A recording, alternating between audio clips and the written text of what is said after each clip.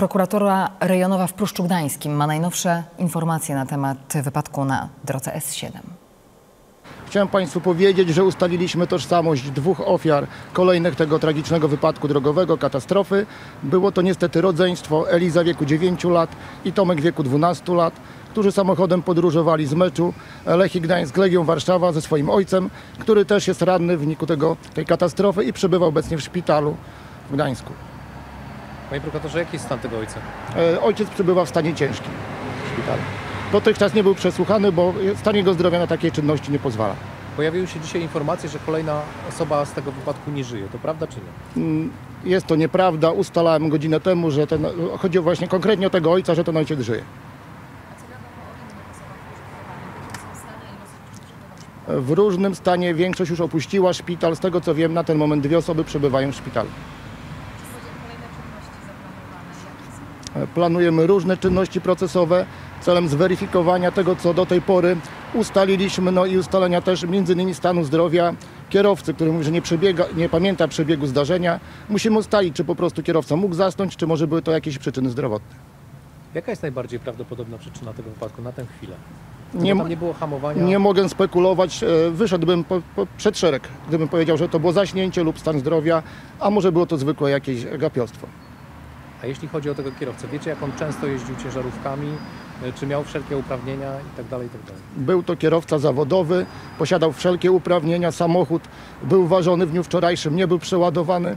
E, Będzie ustalany czas pracy tego kierowcy w dniu tego zdarzenia, jak i w dniu poprzedzającym zdarzenie, czy on jeździł, czy nie przekroczył e, powiedzmy w poprzednim dniu normy swojego czasu pracy.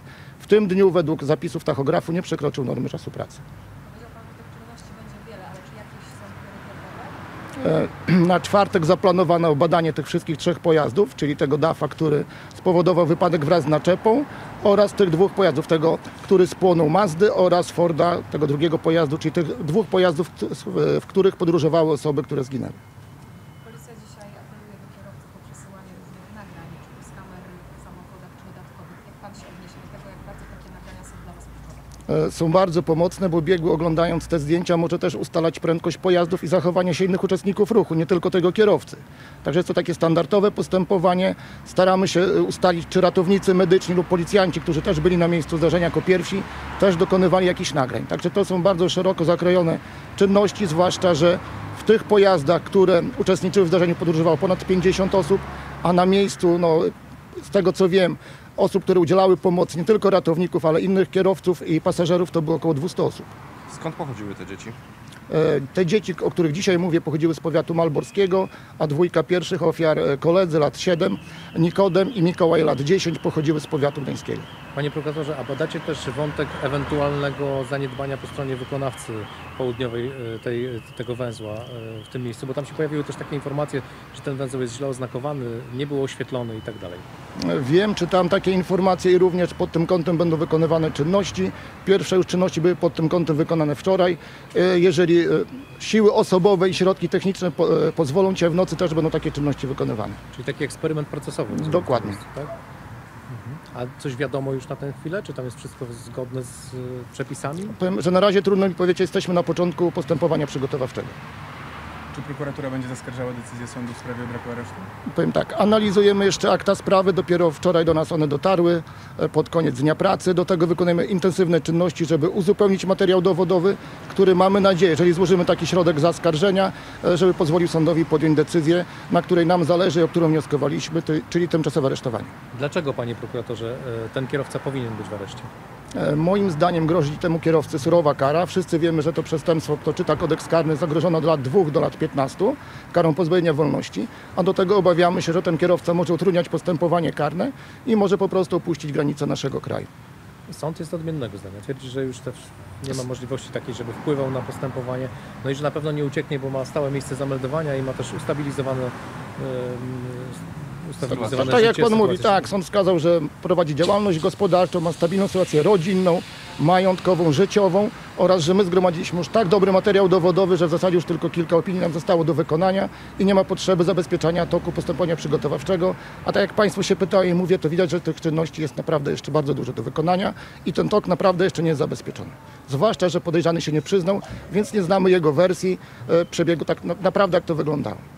Czy badania psychiatryczne tego kierowcy są planowane?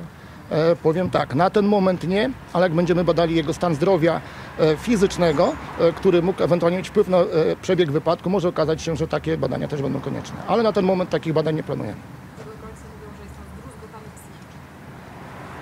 Powiem pani tak, że każdy człowiek e, po takim wydarzeniu, każdy normalny człowiek jest druzgotany. No to jest coś, e, czego nikt z nas by nie chciał przeżyć.